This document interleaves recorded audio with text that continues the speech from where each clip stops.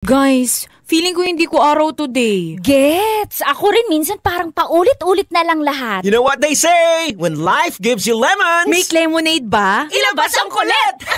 ano ba nainom nyo? Royal True Lemon. Ah, with the epic sa sarap na juicy, citrusy, at zesty lemon taste. Plus, Royal True Lemon has B vitamins pa! Kaya, bili na sa suking tindahan!